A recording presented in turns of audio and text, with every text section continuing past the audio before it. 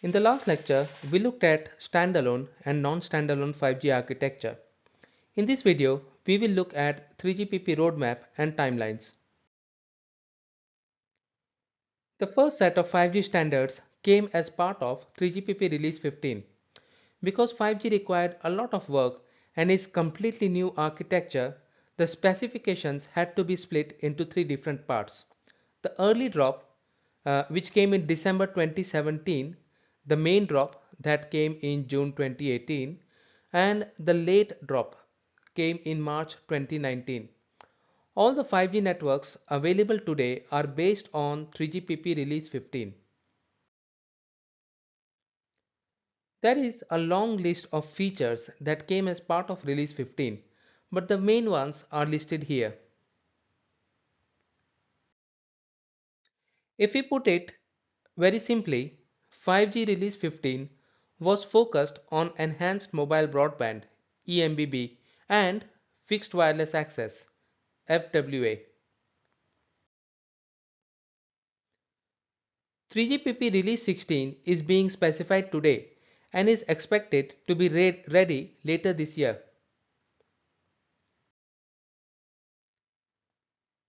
There is again a long list of features and enhancements that are coming as part of release 16.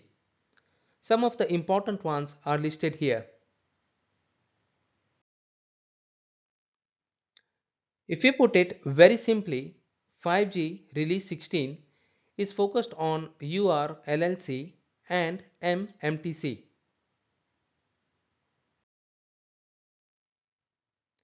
Three GPP release 17 content was approved in September of 2019 and the specifications are expected to be ready in 2021.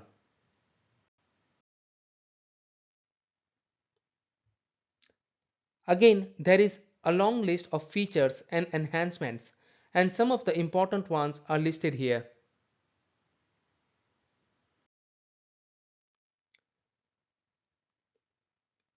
One of the interesting features being studied as part of release 17 is called NR Lite. The industry feels that the current standards do not cater for industrial IoT scenarios where you don't need all the EMBB, URLLC and MMTC features but you need some of them.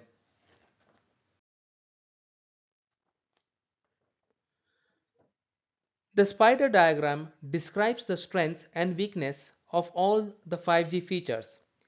EMBB in pink for example focuses on peak data rate but the cost is high and the battery life is poor.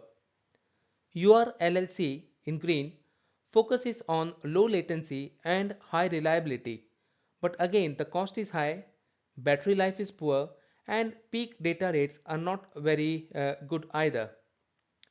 LTE-M and NB-IoT, both in blue, are the two technologies continuing from 4G to 5G for massive machine type communications and are heavily focused on low cost and high battery life.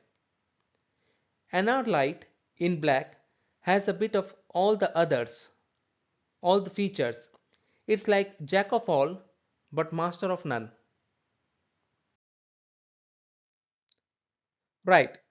So the timeline we looked at for release 16 and 17 has just been revised by 3GPP because of the coronavirus pandemic. Release 16 will be ready in June, but release 17 will only be ready in late uh, 2021.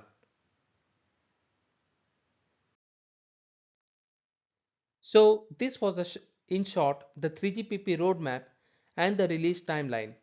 In the next part, we will look at 5G spectrum.